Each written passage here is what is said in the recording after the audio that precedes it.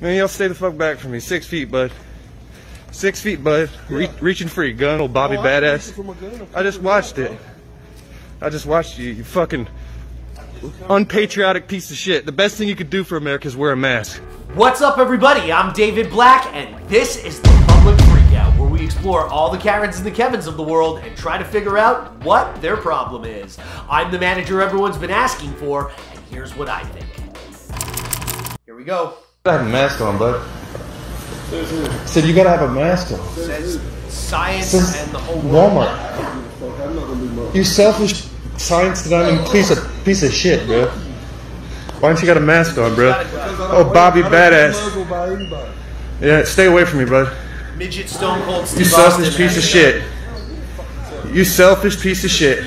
You really are. What are you doing picking fights with strangers? Man, fuck you too. Stay out of Keep your it. mask What's on. wrong with you? Keep your Why are mask you on. taking his side? Man, y'all stay the fuck back from me. Six feet, bud. Look, now you've empowered him. Six oh, feet, great, bud. you're gonna shoot Re- me. reaching for your gun, old Bobby Badass. for my gun. I just watched I it. like that he keeps calling him I just watched you, you fucking unpatriotic piece of shit. The best thing you could do for America is wear a mask. No, no, you're a pussy. That's what you do. You're a pussy carrying a gun around. Fuck you. All right, well, that's where it ends, and thank God, because I couldn't take much more of midget Stone Cold Steve Austin with a gun. So let's break that down. First of all, I'm gonna call him Stone Cold Steve Kevin moving forward. Stone Cold Steve Kevin walked into a Walmart that requires you to wear a mask. A private establishment can see whoever they want. If you don't want to comply, you don't have to shop there. We're only letting people in who paint their faces purple today. Well, I think that's ridiculous. Well, don't come here. Well, I won't.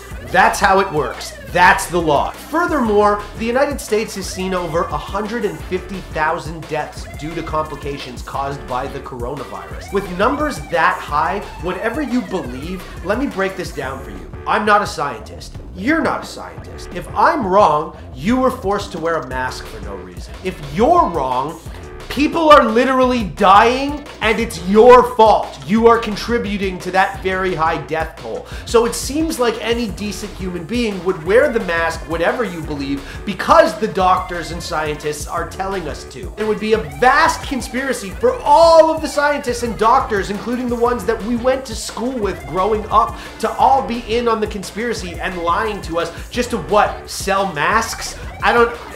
What? The, Anyway, needless to say, guys, as always, I want to hear from you. Leave a like on the video if you're enjoying these videos. Leave a comment down in the comment section and let me know what you think. Do you think I'm wrong? Do you think that this guy's freedoms are being imposed upon and the guy filming came in hot and escalated it for no reason? Or do you think, like I do, that any decent human being would wear the mask because the pros of wearing it outweigh the negatives of not wearing it? For those reasons, plus the fact that you faked pulling out a gun like the coward, insecure pussy you are, midget, stone cold Steve Kevin with a gun, I'm siding with the guy filming on this one.